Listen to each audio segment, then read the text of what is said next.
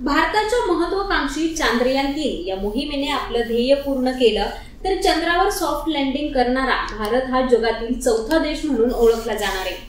चांद्रयान तीन यशस्वीरित्या प्रक्षेपित केलं गेलं आणि आता तेवीस ऑगस्ट दोन हजार तेवीस रोजी चंद्राच्या पृष्ठभागावर पोहोचण्याची अपेक्षा आहे. मात्र तुम्हाला असा प्रश्न नेहमीच पडला असेल की चंद्रावर खरंच जमीन खरेदी करता येते का? चंद्रावर जमीन खरेदी करण्याचा मालकी हक्क कुणाकडे आहे? चंद्राचा मालक कोण आहे? आणि जर चंद्रावर जमीन खरेदी करायची असेल तर ती कशी केली जाते?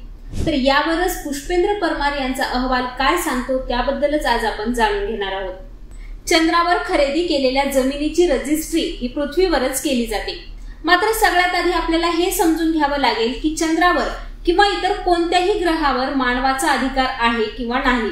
तर ऐका आउटर स्पेस ट्रिटी एकोणीसशे सदुसष्टनुसार कोणत्याही देशाला किंवा व्यक्तीला अंतराळात किंवा चंद्रावर किंवा इतर कोणत्याही ग्रहावर अधिकार नाहीये. बाह्य अवकाश करारानुसार चंद्रावर कोणत्याही देशाचा ध्वज फडकवला जाऊ शकतो.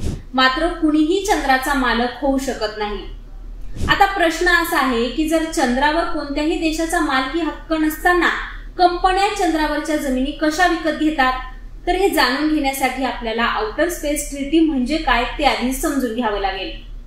आउटर स्पेस ट्रिटी म्हणजेच बाह्य अवकाश करार ही अशी काही कामांची आणि नियमांची यादी आहे ज्यावर दोन हजार एकोणीस पर्यंत एकशे नऊ देशांनी स्वाक्षरी केली आहे. तेवीस इतर देशांनी देखील त्यावर स्वाक्षरी केली आहे मात्र अद्यापही त्यांना मान्यता मिळालेली नाहीये. तर या करारात असं लिहिलेलं आहे की चंद्रावर कोणताही देश विज्ञानाशी संबंधित आपलं संशोधन कार्य करू शकतं आणि त्याचा उपयोग हा मानवाच्या विकासासाठी करू शकतो. मात्र त्यावर कब्जा करू शकत नाही. दिवंगत बॉलिवूड अभिनेता सुशांत सिंग राजपूतने चंद्रावर जमिनीचा तुकडा विकत घेतला होता. तर शाहरुख खानला ऑस्ट्रेलियात राहणाऱ्या त्याच्या एका चाहत्याने चंद्रावर जमिनीचा तुकडा हा भेट म्हणून दिला होता.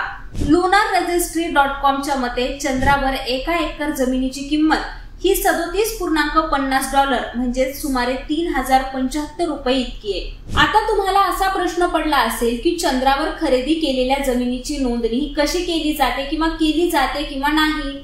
तर ऐका होय खरोखरच चंद्रावर खरेदी केलेल्या जमिनीची रजिस्ट्री ही पृथ्वीवरच होते. लुनार रजिस्ट्री डॉट कॉम नावाच्या वेबसाईटने नोंदणीचे अधिकार असल्याचा दावा केलाय.